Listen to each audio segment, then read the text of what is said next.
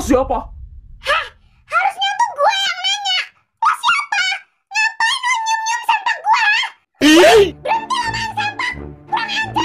Kurang ajar lo. Wah, ganteng bet dah gua. Udah kayak maf gue coy. Ganteng dari Hong Kong, gantengan gua kali. Udah kayak cewek aja ngerapin rambut aja setahun. Pakai masker sama topi lo. Fokus kita hari ini tuh mau ngerampok kamarnya Elana. Jadi ingat, jangan sampai ketahuan. Biar gue yang awasin dari luar. Enak aja. Masa kita udah capek-capek kerja malah gak digaji? Capek banget deh gue. Lain kali gak usah kerja sama sama dia lagi lah. Susah banget mau ambil duit sendiri. Tapi gue gak munafik sih, man. Kalau bayaran ini gede ya, gak usah brother. Woi, kalau lari tuh pakai mata dong. Kagak lihat di sini ada orang. Ini apa anda? Kurang ajar. Hah? Sempak siapa nih orang coklat? Woi! Oh, jadi selama ini kalian yang nyuri? Hah? Nyuri? Nyuri apaan? Orang gue nemuin jatuh di bawah. Ini apa? Sempak coklat. Nah, itu tahu. Terus kalau bukan lo pelakunya, kenapa sempak ini bisa sama lo? Gue aduin ke Boyko lo ya. Heh, lo jangan sembarangan nuduh ya. Emang lo punya bukti apa? Ih, udah jelas gini masih minta bukti.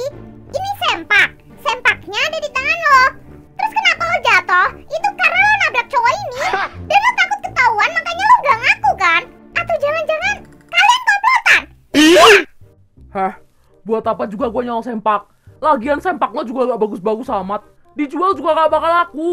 Kami itu ke sini mau ngerampok kamarnya Elana. Belum juga ngerampok udah difitnah. Dasar cewek aneh. Eh, woi, Kau yang aneh.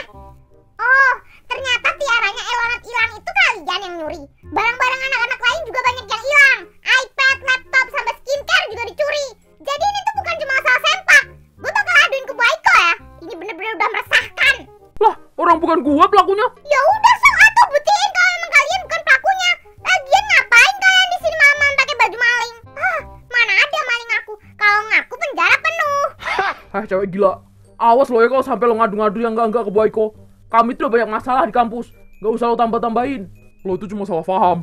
Tadi ada orang yang nyenggol kami. Hmm, bentar ya. Gua bakal bantu buat nyari pelakunya. Di depan situ kan ada CCTV. Hmm, lo pikir gue bakal percaya gitu aja? HP lo gue sita. Sebagai jaminan biar kalian gak kabur.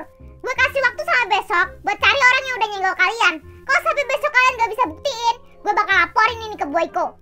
Kalau HP gue lo sita, terus gimana caranya gue nyelesain ini semua? Gue mau telepon Pak Bon buat bedah CCTV depan asrama. Jadi lo juga bisa lihat kalau kita tuh nggak salah. Tahu nih, dasar coy gak jelas. Enak aja, gue juga harus ada bukti dong kalau gue nangkap basah kalian malam ini. Kalau nggak ada jaminan nanti kalian kabur lagi, terus cuci tangan. Kalian pelakunya, mending kalian jujur aja deh. Lebih baik jujur meskipun itu menyakitkan. Gue tahu, pasti kalian malu banget kan kalau sampai ketahuan kalian yang suka nyuri sempak di asrama kami. Gue tahu ini aib. Gue bakal rahasiain kok.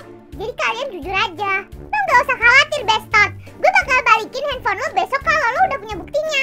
Dan buat sementara kan lo bisa pakai HP-nya dia. Gue tunggu buktinya besok pagi. Kalau enggak, Hah, gak bisa gini dong. Jujur apanya orang bukan kami pelakunya. Eh, ya udah sih nggak usah alay. Lagian itu kan HP gue. Ngapa lo yang sewot? Mending kita cari orang tadi. Kasihan juga cewek-cewek yang barang-barangnya hilang. Jadi biar kita itu juga berguna di sini. Dih, sejak kapan lo peduli sama cewek-cewek? Gue perhatiin kalem banget lu sama dia. Gak biasa-biasanya. Gue bakal bantu nyari pelakunya. Sok pahlawan banget lu. Ngapa? Lo suka sama dia? Itu bukan urusan lo.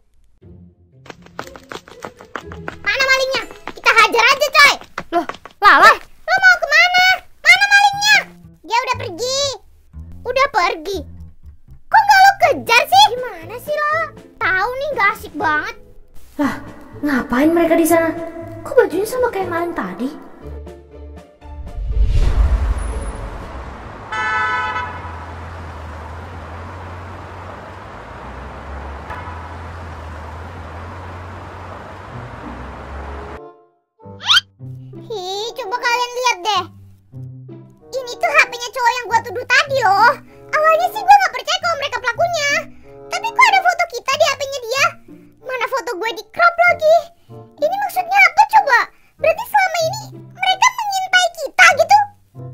Lo bego banget sih, La? Udah fix mereka tuh pelakunya. Tapi kenapa lo lepas lepasin dia gitu aja.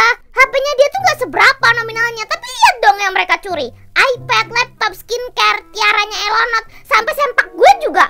Itu cuma sempak Lex, bukan emas. Coba deh kalian pikir, kenapa dia cuma nyuri barang-barang punya cewek?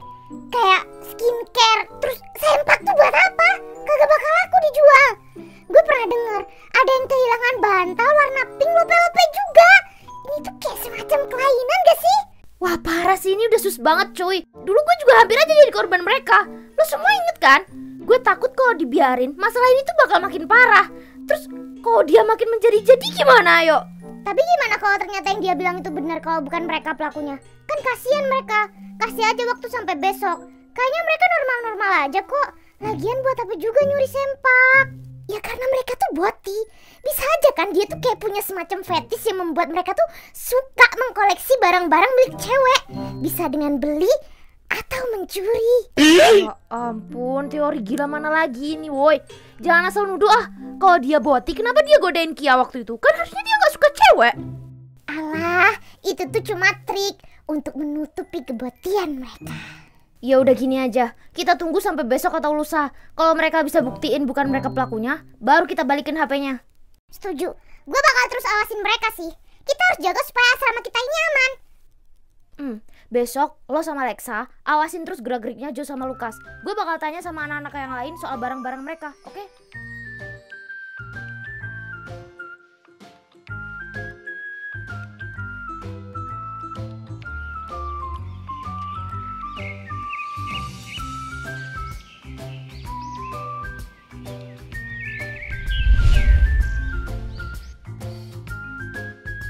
Kata Pak Bon pintu ruang CCTV-nya nggak bisa dibuka karena kuncinya hilang. Jadi harus nunggu sampai besok lusa baru bisa dibuka. Kami juga udah lapor Pak Excel soal maling di asrama kalian. Jadi sekarang gue minta balikin HP gue. Kenapa harus nunggu sampai besok lusa? Lo kan tinggal nyari tukang kunci, lo bikin kunci yang baru. Beres hari ini selesai. Kalau nggak gitu, dobrak aja. Jadi lo gak usah banyak alasan deh. Bilang aja kalian pelakunya kan. Lo sembunyiin di mana sempak gue? Gue gak bakal balikin HP lo sebelum sempak kematian gue balik ya. Ini cewek ternyata juga sama aja ya. Lo pikir gampang tinggal dobrak? Kalau pintunya rusak siapa yang ganti rugi? Pasti kami lagi, kami lagi. Lagi pula buat apa juga gue nyuri sempak? Ya buat lo pakai lah apalagi. Kan sempak gue bagus. Lo nangsin sempak gue kan? Udah deh kalian tuh jujur aja. Kalau enggak, gue bakal bilang ke semua orang kalau yang nyuri sempak di asrama cewek tuh kalian. Hmm, mending sekarang kalian kasih tahu kami deh di mana barang-barang yang udah kalian curi. Lo bisa pelan-pelan gak sih ngomongnya, hah? Kalau sampai Boyko tahu, kalian pasti bakal dipanggil. Terus Boyko bakal bilang gini, Joe, Lukas, kalian ya yang nyuri sempak di asrama cewek. Hancurlah harga diri kalian. Terus anak-anak yang lain juga bakal gosipin kalian. Eh, tahu nggak sih? Ternyata Joe sama Lukas itu boti loh. Ih, pantes mereka selalu bareng-bareng. Waktu itu gue pernah lihat tuh di bawah pohon sawo. Mereka lagi makan basreng berdua. Hah, lu jangan ngarang cerita sembarangan ya. Mana ada gue makan basreng sama dia? Ustad, cepat lihat dia Ustad. Dia tidak normal Ustad. Bisa diem gak sih?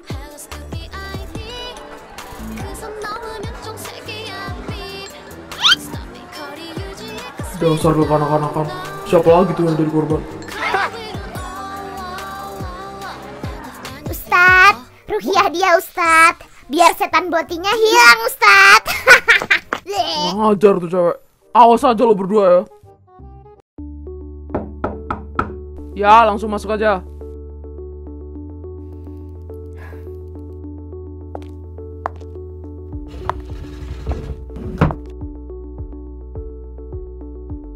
Kalau kalian gagal lagi, kamu wajib ngulang semester depan.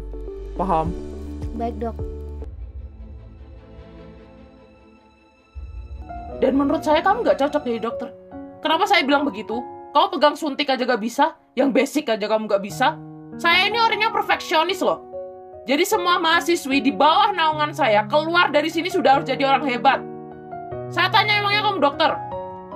Belum dok. Terus gimana bisa kamu sembarangan mendiagnosis pasien? Gak lihat data sambil sen- Oke gak apa-apa. Lo pasti bisa Kia. Lo harus yakin sama diri lo sendiri.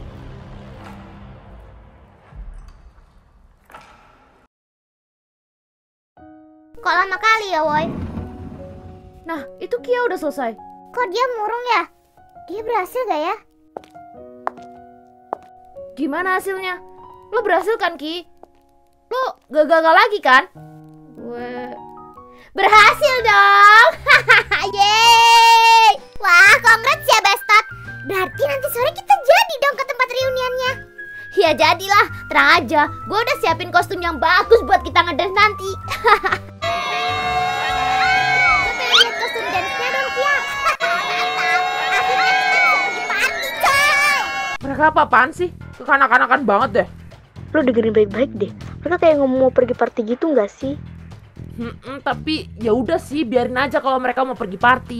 Jadi hidup kita tuh bisa tenang kalau nggak ada mereka.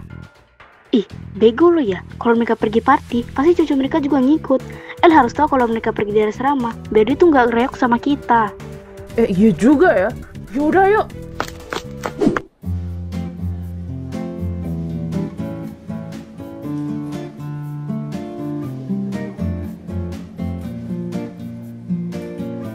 Ya udah gini aja deh pak, biar kami aja yang nyari tukang kuncinya. Nanti kami duplikati yang banyak buat bapak kalau bapak lagi sibuk.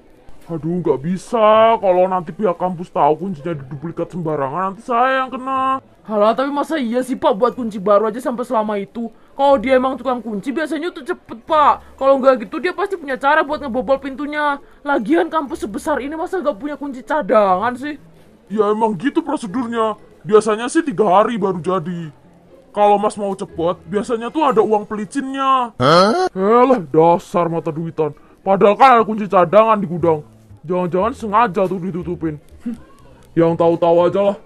Rangga gas, sim penting orang untal kapuro. Ya udah kalau gitu, ini ya pak, hari ini bisa jadi kan? Nah, kalau gini tuh biasanya bisa lebih cepet prosesnya.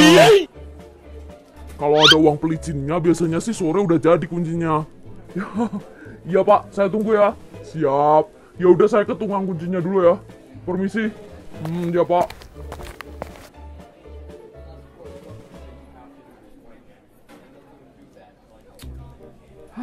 Mereka lagi, mereka lagi. Hai Jo, kalian pasti lagi nungguin kita ya? Apa-apaan sih lu pede amat dah? Ngapain juga gue nungguin lo di sini? Halah, ngaku aja deh. Emang siapa sih yang gak mau sama cewek cantik kayak kita? Emangnya ada cewek lain yang lebih manis dari kita? Dan sepopuler kita. Please deh, yang murah tuh banyak. Ya minimal galai lah. Enggak dong, karena kami beda dari cucu yang lain. Jadi kesimpulannya, lo mau kan ngeliat bareng sama kita nanti sore? Kami lagi ada banyak urusan. Udah berkali-kali juga kan gue bilang sama lo. Kalian tuh jangan terlalu berharap sama kami. Jadi gak usah mimpi ketinggian deh. Nanti jatuh nangis. Ya nggak apa-apa sih kalau misal jatuhnya tuh di pelukanmu. Kayaknya nih anak perlu dirukiah deh. Otaknya udah gesrek soalnya.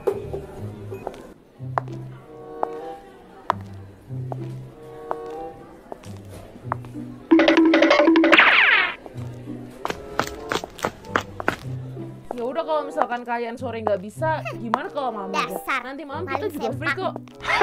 ya, lo mau kan? Kiu, kiu, kiu. Gimana? Eh, Mau kan? jangan mau sama dia, woi. Dia boti. Parah ini udah gak bisa dibiarin sih. Woi, woi berhenti woi. Apaan sih kok mereka malah ngikutin cewek gatel itu? Ih, jijik banget deh. Alah, santai aja Bestot. Mereka nggak bakal tertarik sama rombongan cute itu. Kalaupun iya, pasti cuma dijadiin mainan. Kayak nggak tahu jauh sama Lukas aja deh. Mending kita ku kakak. Kita kasih tahu El. Terus kita cabut. Masih banyak yang harus kita urus.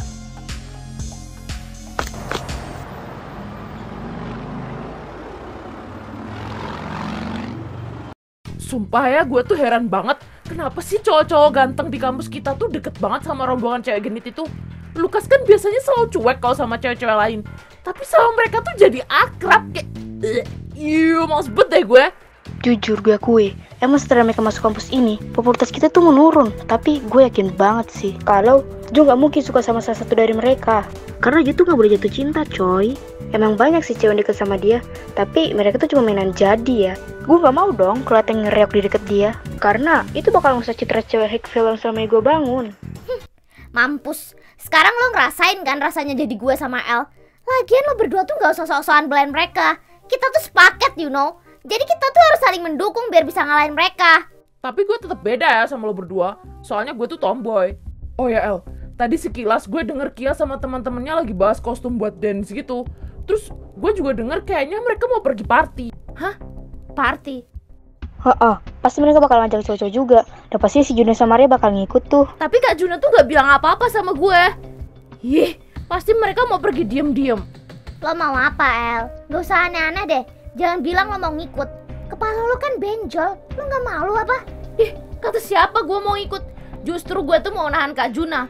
Gue mau Kak Juna nemenin gue di sini. Terus tugas kalian, kalian awasin Kiot sama teman-temannya. Cari tahu mereka tuh mau ke mana. Terus tujuan mereka ke sana tuh apa? Gue gak bakal biarin ya mereka berduaan di luar. Enak aja.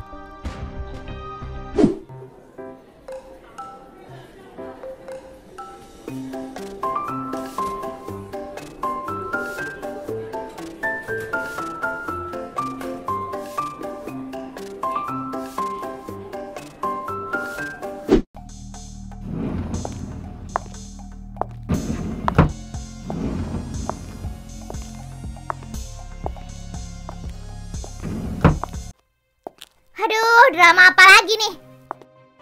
Gue yang salah. Tapi dia tuh ngejar-ngejar gue duluan. Dia mau ngejambak gue, makanya gue menghindar. Eh, dia malah jatuh dari kursi. Lagian siapa suruh lo lari-lari ngejar-ngejar gue? Giliran benjol gini nyalain orang. Gue udah tahu kok. Gue suruh lo ke sini karena dia mau minta maaf katanya. Ya ampun Kia kalau gitu sih. Padahal niat gue baik loh sama lo. Ya udahlah kalau Kia kayak gitu, gak jadi aja deh kak. Ih, dasar caper. Ih, lo apa-apaan sih? Lama-lama gue cemplungin ke kawah juga lo ya. Udah pergi aja yuk, Kia. Dia tuh cuma manas-manasin lo. Dikira ngefek apa? Mending kita siap-siap buat pergi acara reuni nanti sore. Hi, kok kalian kayak gitu sih? Emangnya aku salah apa ke kalian? Kok kalian sampai segitunya sih sama aku? Wih, bagus tuh. Mungkin itu pertanda kalau sebentar lagi lo mau mate. Nih, kamu pegangin kompresnya. Biar aku ambil minum ya. Oh, jangan. Kakak-kakak di sini aja sama aku. Biar Kia aja yang ngambilin. Hmm, tolong ya Kia, ambilin aku minum. Nah kan, emang punya banyak muka lo ya. Jangan mau Kia. Kamu pegangin kompresnya aja yang. Biar aku aja yang ngambilin. Biar gue aja yang ambilin. Mending lo pergi deh. Gak apa-apa, Mon. Biar gue aja. Mon, kita tuh gak boleh jahat. Kalau kita jahat, berarti kita sama aja dong kayak dia. Jadi kalau orang lain jahatin kita, kita tuh harus membalas dengan kebaikan. Kayak misalnya nih ya, kita kasih dia air. Tapi jangan lupa dilempar sekalian sama gelas-gelasnya biar mampus. Tamatlah riwayatmu jenglot pink.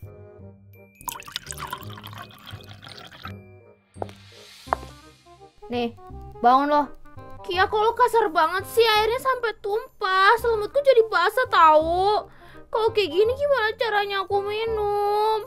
Kak ambil aja kak gelasnya aku takut. Nye nye nye, nye. tompel lo gue gelasin ya. Manja banget sih lo. Gue gampar juga lo ya. Ini gue masih sabar nih. Udahlah, nggak usah marah-marah apa. Nih, kamu minum. Kak, bantu minumin. Gara-gara jatuh kemarin mulutku tuh jadi nggak bisa mangap. Apalagi bibirku kan mungil. Jadi aku kalau makan atau minum gitu sakit. Ih, awas lo berdua ya. Tapi kalau kakak nggak mau ya udah nggak apa-apa. Nanti aku bisa minum sendiri kok. Lagian kasihan Kia nanti dia bisa cemburu. Ih, jijik kali lah mau muntah aku. Heh, binatang. Lo itu cuma benjol ya, bukan sekarat. Emang apa hubungannya benjol di dahi sama mulut, ha? Gue tampol juga benjol di paha lu ya. Emosi gue. Kalian kenapa sih kayak gitu? Padahal kan ini cuma benjol biasa. Nanti juga sembuh. Apa mereka iri ya kak? Soalnya wajahku baby face gitu.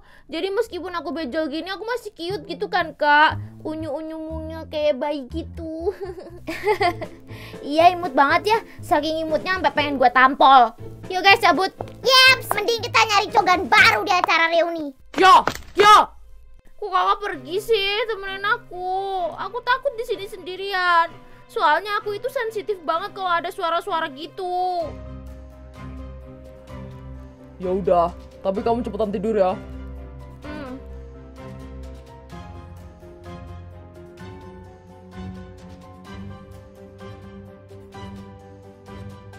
Jadi dulu itu waktu SMP pernah ada tragedi sweet di perpus antara Kia sama Dern ini. Waktu itu kan Kia naik kursi buat ambil buku. Terus dia nggak sengaja jatuh nimpa Darren dan nggak sengaja ciuman deh.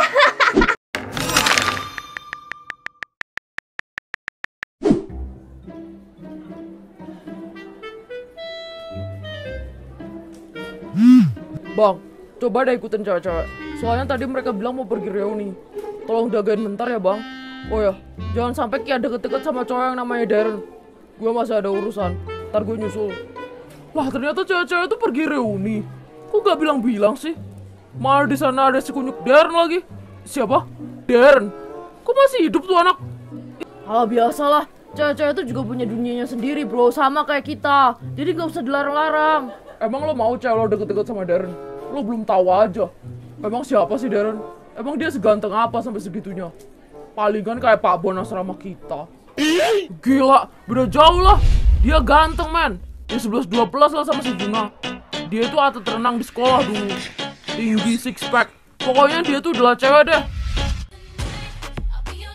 Yang mana setiap pulang sekolah, Kia, Mona, Hatsuki sama Cika tuh selalu nungguin dia latihan di kolam renang sekolah. Sampai pernah tuh dimarahin nyokap karena pulang kesorean. Gua agak lupa sih sama wajahnya, tapi asli dia ganteng cuy. Dia dulu pernah deket sama Kia, tapi nggak sampai jadian, cuma deket aja. Karena waktu itu dia sibuk ikut turnamen sana sini. Kalau kata Kia sih dia dulu cuma ngefans. Kita ikutin aja cewek-cewek. Mau pergi ke mana mereka? Please kali ini gue yang nyetir ya. Ya ya ya ya. Ya, kayaknya cowok-cowok ngikutin kita deh. Alah udah biarin aja. Bang, lo yang nyetir ya. Mobil gua warna biru, udah siap bisa minggir bang. Hmm. Ya udah ayo gas.